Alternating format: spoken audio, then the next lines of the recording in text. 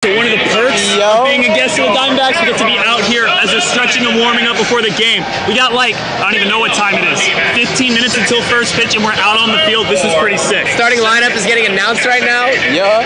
These uniforms are fire. I don't think they've let us out this close Yeah. This is wild, at least for us right now, because like we don't know the etiquette this clo- close to game time. I'm not trying to bother the guys, Supposed to be bro. the way here, like, we're looking at the game in five minutes? The first pitch Yeah. was just thrown and we're on the field. Everything counts. We gotta Okay, yeah, let's go. Ketel gave me a what up. Dímelo. ¿Qué lo que? ¿Qué lo que? It's my guy Ketel right